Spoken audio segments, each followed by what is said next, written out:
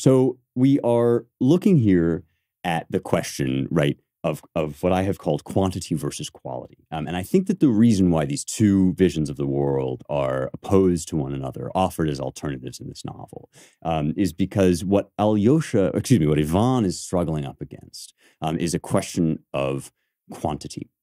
And the question of quantity is there is so much suffering in the world, right?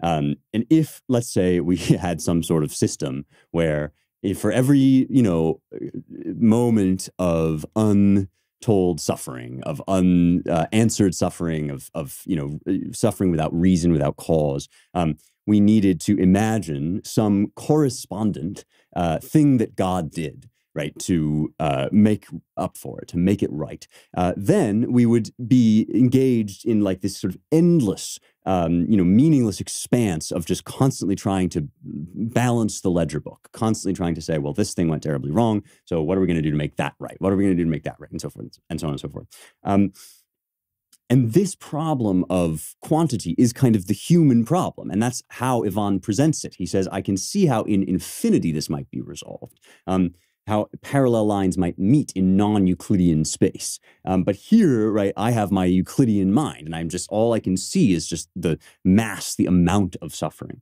Um, and you know, C.S. Lewis has an interesting answer to this in the problem of pain, where he says actually, like nobody nobody experiences the suffering uh, of everybody cumulatively. They just experience the one suffering that they have. Um, and I think this is a way into Zosima's answer here, which is that actually right we we don't just exist as big expanses of stuff. We have form as well as matter quality as well as quantity right? And and so really the way to look at this sort of thing is not to say well there was this problem and this problem and this problem but to say the whole world is in a state of of sorrow right? And you are implicated in it both by way of guilt and by way of need right you are both suffering and you are guilty for the suffering and not in the sense that you did something bad or wrong but rather that you are tied up in this cycle, right, of, of recrimination. And if you atomize yourself to the extent that you have to be answerable for the things that you have done, right? Um, then you will find yourself just kind of constantly trying to claw your way out of this hole, right? But if instead what you say is that, you know, the things that you have done implicate you in this huge tapestry of human sorrow and suffering,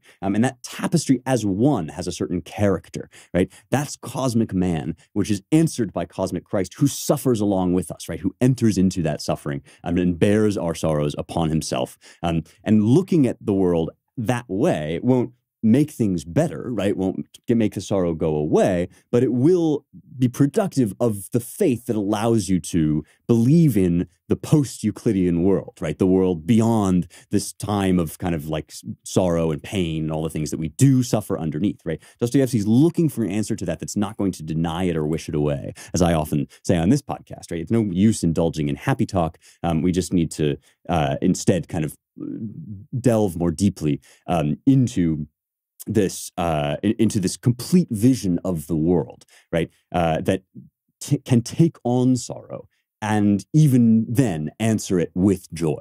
Um, and this is why the stench is important, right? The fact that Father Zosima starts to smell bad, that he does die, um, that he is a man, right? Um, and that we, whatever we get, is going to have to come through us. Whatever consolation we get is going to have to come to us through this fleshly, broken world that we're in, right? Um, that is Dostoevsky's answer to both the desire for miracles and the problem of pain, right? It's that it's not that, you know, there isn't all this sorrow. It's that by looking at the sorrow as part of a vast tapestry of brokenness, right? The bro- brokenness of the world, you begin to see how the sorrow can be the beginning of joy, right? And that's what Zosima says in that dream that I read at the end there, right? That this is just the beginning, you know, that, that we we sorrowed on earth and now we have begun a great and new joy because we gave an onion, right? Because we did one thing that looked at the world as if it were redeemable, right? We did we had one action, one part of our lives, some small seed of that mind shift that allows you to uh, be redeemed, right? To to uh, to live through and even